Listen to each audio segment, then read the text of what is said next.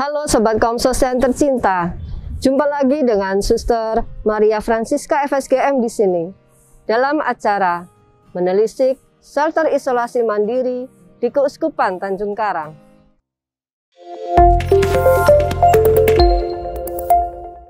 Seperti yang kita ketahui, orang yang terpapar COVID-19 melonjak sangat tinggi.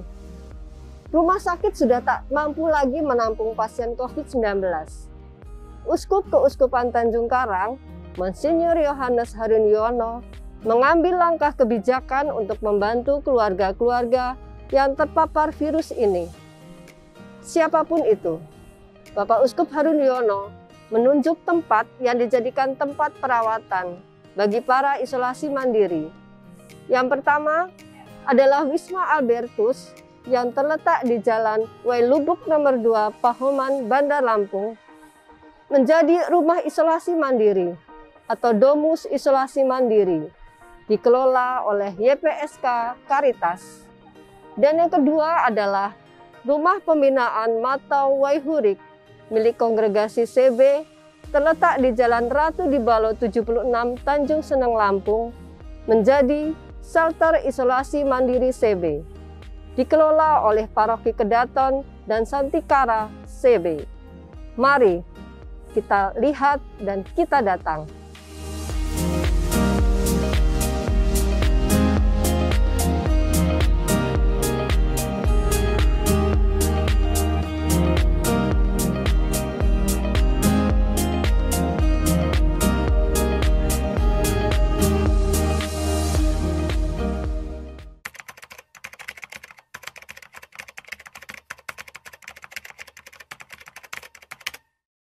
Untuk saat ini kami tinggal dua orang isoman yang berada di sini. Uh, paling banyak kami yang berada di rumah isoman di Wisma Albertus itu dalam satu waktu itu ada 10 isoman yang berada di sini. Uh, kami proses penerimaan isoman biasanya kami akan menerima informasi dari para romo paroki uh, yang diinformasikan langsung kepada Romo Bernard yang berada di sini untuk menerima mereka untuk berada yang di sini. Tetapi juga ada beberapa uh, isoman yang memang tidak dari paroki dan bukan Katolik, tetapi dari Hindu, Muslim, Kristen itu juga ada. Itu mereka dari jaringan, dari jaringan kami. Kebetulan kami ada uh, oksigen, relawan oksigen, beberapa teman mereka terkena dampak, jadi mereka uh, memohon kepada kami untuk temannya berada di sini. Pada awal-awal dibentuknya rumah isoman, itu memang sedikit kesulitan untuk mendapatkan uh, oksigen. Tetapi dengan perjalanan waktu, uh, kebutuhan oksigen dapat kami penuhi dengan baik. Untuk penyediaan, itu kami juga bekerja sama dengan Rumah Sakit Santa Ana, juga dengan tim COVID Lampung, yang di sini juga menyediakan uh, peminjaman tabung oksigen dan juga beberapa donatur yang memang bersedia untuk menyediakan uh, tabung oksigen dan uh, membantu untuk uh, mengisi tabung oksigen tersebut. Dari awal dibentuknya rumah isoman ini, kami sebetulnya menerima uh, para isoman yang tidak memiliki komorbid. Tetapi dengan perjalanan waktu, karena ada kebutuhan ada kebutuhan-kebutuhan khusus yang akhirnya kami menerima uh, para isoman yang memang memiliki komorbid yang tidak punya tempat tinggal untuk uh, melakukan isoman. Jadi di tempat ini sebetulnya semua yang terdampak COVID-19 itu kami menerima. Jadi tidak ada syarat khusus yang memang uh, di tentukan untuk masuk di rumah isoman ini.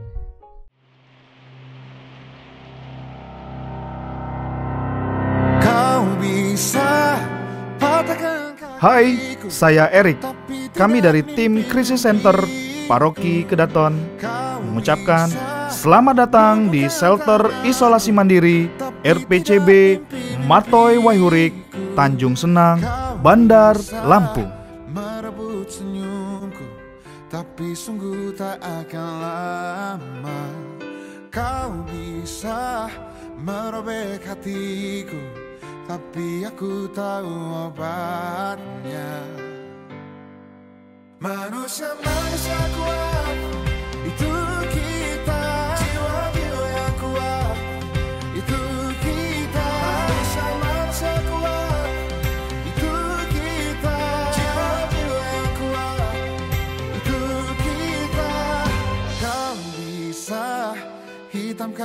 putihku Kau takkan gelapkan apa pun. Kau bisa runtuhkan jalanku Kan ku temukan jalan yang lain. Manusia-manusia kuat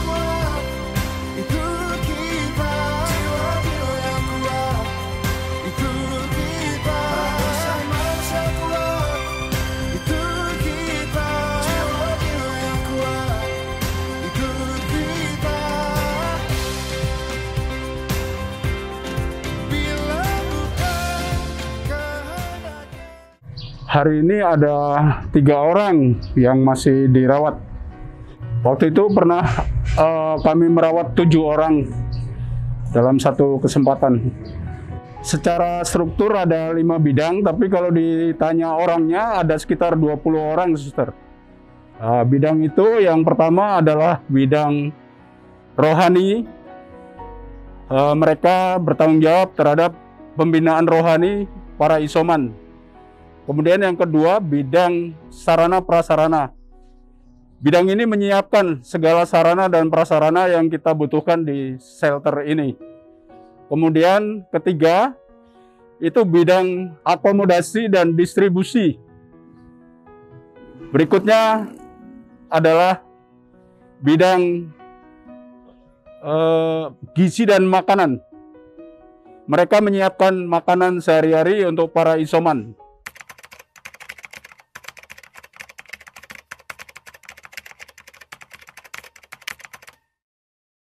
Saya sudah sekitar lima hari.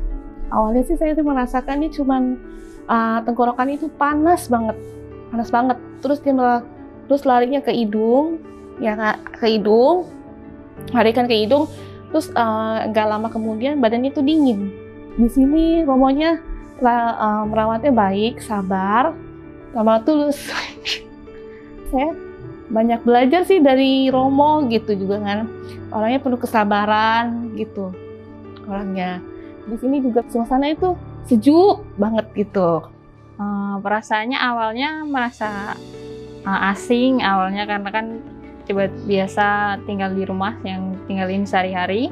Terus tiba-tiba ke sini untuk isoman pastinya rasa asing tapi lama kelamaan mulai beradaptasi dan juga mulai menyesuaikan di lingkungan dan eh, lama kelamaan rasa nyaman pelayanan mereka sangat baik sangat eh, ramah mereka memiliki, memiliki sikap yang ramah dan membuat kita jadi para isoman jadi merasa nyaman tinggal di sini untuk sementara waktu gitu.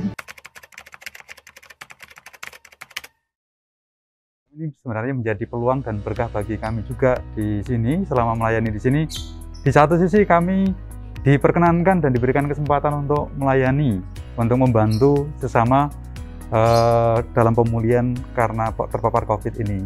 Tantangan-tantangan juga pasti ada, tetapi justru itu memacu kami untuk semakin hari semakin bisa lebih baik dari yang sebelum-sebelumnya.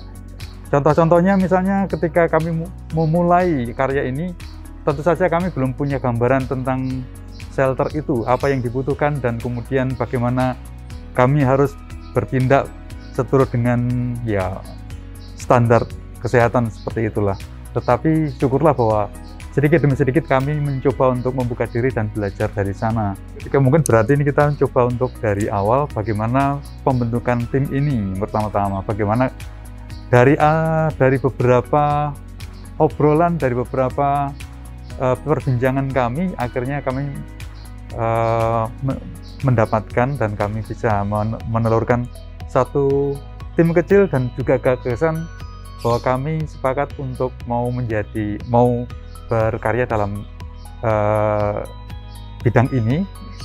Dan memang tantangan juga di sana karena kami waktu itu mungkin di sekitar sini di paroki kami memang ada nakes-nakes dokter dan yang lain. Tetapi kita juga harus menyadari bahwa mereka itu nantinya akan relawan dan juga mempunyai pekerjaan untuk uh, mencari nafkah untuk keluarganya. Itu menjadi tantangan kami sendiri.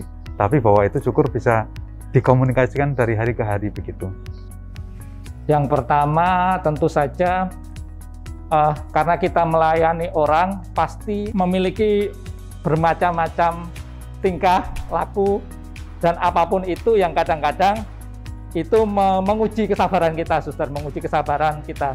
Tetapi kita kita di sini selalu selalu bilang bahwa kita di sini pelayanan, jadi tetap kita harus dengan sabar melayani yang mereka. Terus yang kedua, pada awal-awalnya memang kami kekurangan relawan. Tidak ada relawan yang membantu kami di sini, suster. Jadi itu membuat kami eh, kurang tenaga untuk melayani teman-teman di sini. Tetapi ternyata di sekitar kita banyak orang baik. Ada teman-teman yang tergerak hatinya untuk bersama-sama kita melayani di sini. Ya, yang tantangannya yaitu kesiap, kesiapsediaan. Karena belum tentu kita bisa menyanggupinya jika kita tidak memiliki kepekaan hati terutama. Itu tantangannya dan juga memanage waktu karena kita juga di sini tidak hanya bernaung di sini saja, kita memiliki kesibukan lain entah itu di rumah atau di di kampus terutama dalam perkuliahan itu tantangan terberatnya bagi kami. Tetapi kami juga tetap menjalankannya karena itulah aksi kemanusiaan, humanitas kita juga diperlukan gitu. saya merasa bersyukur justru bersyukur dan sangat happy ya eh, karena boleh menemani mereka dalam hal ya kita memang bekerja sama dengan paroki dan yang sibuk parokinya kami melayani eh, makanan, minuman dan juga eh, apa ya untuk para relawan dan juga untuk para isoman dan itu membuat kami sungguh sangat bersyukur karena boleh ikut serta di dalam pendampingan ini. Eh, tantangan yang saya alami hanya satu, kurangnya tenaga gitu untuk membantu. Ada belum ada relawan yang membantu kami di bagian gizi. Eh, tantangannya yang pasti adalah kita harus punya hati ya suster, punya hati, kerelaan hati, waktu, tenaga karena kan eh, kita juga kerja suster. Banyak relawan di sini yang bekerja jadi memang tantangannya adalah bagaimana kita dapat membagi waktu, tenaga dan hati kita supaya balance antara yang di sini, di rumah dan di tempat kerja. sebagai relawan kami memang punya latar belakang ya punya kesibukan arta, atau mungkin kegiatan ya suster kami punya pekerjaan yang notabene harus membagi waktu juga suster. Tantangan di awal itu suster. Namun ketika sudah terbiasa kita mengatur waktu ya puji Tuhan bisa suster untuk menghadapi tantangan-tantangan seperti itu. Yang selama ini yang eh, kami hadapi mereka itu adalah down down dalam arti mereka tidak percaya bahwa mereka terpapar COVID. Tantangan yang paling berat adalah eh, mengembalikan lagi recovery kesehatannya karena bagaimanapun di sini hanya membantu sekembali dari sini tergantung kepada para isoman itu sendiri untuk membuat kekebalan dan imunitas tubuh awalnya saya bergabung itu bukan dari kemauan saya sendiri. Itu dari kemauan teman saya yang sebagai ketua PMKRI, Ignatius Limpat. Beliau berkata sama saya, tolong kamu kan sudah pernah vaksin kedua, tolong bantu. Tapi pada saat kondisi itu saya belum bisa menyanggupi. Tet- Tetapi seiring berjalannya waktu, hati saya terpanggil. Jiwa belas kasihan saya terpanggil untuk membantu bagi para isoman Sebetulnya sih lebih apa ya mengikuti Bunda pendiri Bunda Elizabeth Reuters. Eh, beliau sangat eh, apa prihatin setiap kali melihat penderitaan dan lalu pasti segera terjun begitu. Nah, eh, penderita COVID ini kan juga sebetulnya ada kecemasan, ketakutan, lalu juga eh, kesepian ya karena harus eh, berpisah dengan keluarganya. Nah, inilah yang menyebabkan lalu spontan itu ingin mendampingi para penderita COVID ini gitu. Eh, motivasinya karena ketika menjadi isoman di sini eh, itu tuh banyak kasih yang saya terima di sini melalui suster, romo, bapak ibu yang jadi relawan di sini. Jadi itu memotivasi saya eh, untuk ikut bergabung menjadi relawan di sini karena saya punya kasih untuk merawat pasien yang di sini juga. Karena kebetulan saya juga perawat suster di rumah sakit merawat di sini juga harus bisa merawat. Tuhan Yesus mengajarkan kepada kita iman tanpa perbuatan sama dengan kosong. Oleh karena itu, suster, saya terpanggil minimal bisa melakukan apa yang diajarkan Tuhan Yesus itu sendiri. Motivasi saya ya Tuhan Yesus itu sendiri, suster. Eh, saya beriman Katolik, saya sangat percaya bahwa mencintai sesama itu sama dengan mencintai Yesus. Saya sangat cinta kepada Yesus dan saya cinta terhadap sesama. Mereka yang menderita, mereka yang berkesusahan perlu kita bantu dan itulah panggilan jiwa yang selama ini memang tetap membara di dalam hati kami. Begitu juga dari teman-teman semua hampir sama.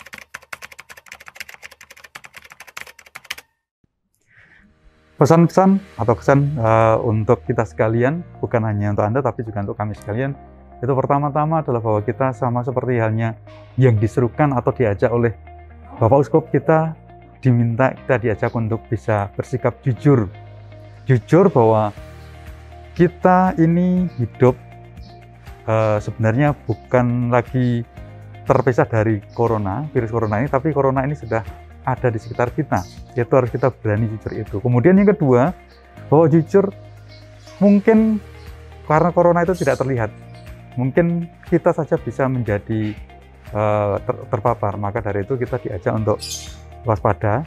Kemudian kita kalau seandainya terkena, kita juga jujur pada diri sendiri bahwa kita terkena dan kemudian kita terbuka. Kita mau membuka diri untuk orang lain juga bisa membantu kita. Dan kemudian yang ketiga itu tentu saja kita harus eh, berbela rasa dengan sesama yang membutuhkan, membutuhkan perhatian, membutuhkan eh, bantuan dari kita maupun juga dari orang lain. Yang keempat bahwa kita tetap hidup sehat, mematuhi prokes 5M. sebetulnya COVID-19 ini memang sangat-sangat ganas. Tetapi untuk khususnya untuk para orang-orang yang sudah terdampak, saya harap kita jangan mengucilkan mereka. Tetapi eh, temanilah mereka agar mereka semakin bahagia dan menjalani eh, isoman agar COVID ini tetap eh, cepat eh, hilang dan khususnya jangan stigma bahwa kalau eh, sudah kena COVID itu eh, jelek dan tidak usah ditemani. Mohon untuk para pemirsa, ayo kita rangkul bersama agar COVID ini cepat selesai dan cepat berlalu. saya menyampaikan tolong perketat protokol kesehatan terapkan 5M di mana pun anda berada karena itu penting supaya kita dapat menekan angka tingginya kasus COVID ini menjadi rendah lalu kita dapat beraktivitas seperti, semula hendaknya engkau murah hati seperti Bapamu murah hati. Dengan shelter ini saya sungguh-sungguh banyak mengalami eh, itu. Jadi pesannya adalah jangan pernah takut, cemas, kita akan menjadi sehat jasmani dan rohani. Karena kita mengikuti Tuhan bersabda apa gitu. Nanti Tuhan akan mendampingi terus gitu loh. Eh, pemirsa baik yang ada di Lampung maupun di sekitarnya ya Eh, pesannya untuk silahkan silahkan eh, yang merasa keluarganya ada yang sakit temannya tetangganya begitu silahkan untuk menghubungi shelter kami kami akan membantu eh, anda semua untuk menjadi sehat. Maka silahkan datang tanpa dipungut biaya gratis. Jadi jangan khawatir. Nanti merasa bagaimana-bagaimana kami akan membantu bersama dengan eh, tim shelter yang juga akan dibantu oleh kami bekerja sama dengan paroki untuk membantu saudara-saudara yang mengalami kesulitan untuk isoman di rumah. Maka silahkan menghubungi kami, jangan ragu-ragu dan jangan merasa tidak enak. Kami dengan senang hati akan melayani Anda semua. Eh, pesannya yang pasti harus tetap jaga kesehatan, ikutin protokol kesehatan. Ketika memang sudah merasakan ada keluhan atau mengarah ini kayaknya gejala COVID, silahkan segera memeriksakan ke fasilitas kesehatan terdekat dan lapor ke ketua lingkungan atau ke eh, instansi-instansi yang terkait dengan ini. Dan kalau misalnya memang butuh tempat isoman, kami siap menerima di sini. COVID-19 memang sudah melanda dunia. Kita juga tidak tahu sampai kapan ini akan berakhir. Namun, percayalah dengan protokol COVID-19 5M, kita pasti mampu menghadapinya. Dan seandainya kalau ada keluarga terpapar COVID-19, kita jangan takut. Di shelter isolasi mandiri ini sudah menyediakan tempat isolasi untuk para peserta yang ingin eh, isolasi di shelter RPCB ini. Dan itu gratis. Pesan saya, jangan takut, kita belajar dengan situasi ini sehingga pada waktunya kita pun yakinlah pandemi ini bukan lagi menjadi momok ataupun ketakutan yang eh, dunia alami saat ini. Ini yang eh, paling penting, paling penting bagi saya. Jadi saya berharap hilangkan stigma negatif terhadap eh, penyintas COVID. Utamanya mereka yang terpapar, mereka butuh bantuan, butuh ditolong, dan kemudian kalau sudah pulang dari sini, kita sudah memastikan karena sebelum pulang mereka harus rapid antigen dan negatif. Nah, setelah itu kita nyatakan dengan surat bahwa mereka sudah sehat dan bisa kembali beraktivitas. Nah, tolong ini yang kembali ke masyarakat diterima. Jangan di stigma negatif, dihindari dan dijauhi. Saya kira ini yang paling penting untuk masyarakat di eh, pada umumnya. Eh, pastinya di untuk sahabat pemirsa di mana pun berada saat ini tetap menjaga protokol kesehatan seperti yang dianjurkan pemerintah Memak- memakai masker, mencuci tangan dan menjaga jarak pastinya karena saat nanti kalau udah belum pernah merasakan pastinya akan menganggap remeh eh, hal kecil eh, seperti ini. Yang anggap kecil tapi berdampak besar bagi orang yang mungkin karena kita masih muda masih sehat eh, memiliki daya tubuh daya tahan tubuh yang kuat jadinya masih bisa baik-baik saja dan cepat pulih kembali tapi berdampak besar bagi mereka yang memiliki yang sudah berusia lanjut atau mereka yang memiliki sakit bisa berdampak besar untuk mereka. Sobat Komsos, demikian tadi perjalanan kita di dua tempat di mana para isolasi mandiri didampingi.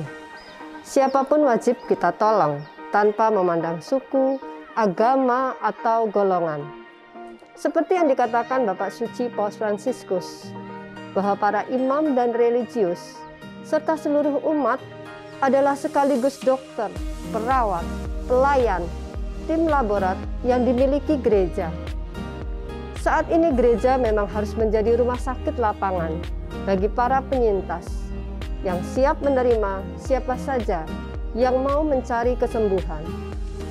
Para penderita sakit adalah berkat bagi gereja. Mereka tidak harus disingkirkan. Sebaliknya, mereka harus dijaga dan dirawat dengan penuh kasih. Kasih itu menyembuhkan. Saya, Suster Maria Francisca FSGM, mengucapkan terima kasih atas perhatian Anda semua. Semoga kita semua selalu dalam lindungan Tuhan. Salam sehat dan sukacita. Sampai jumpa.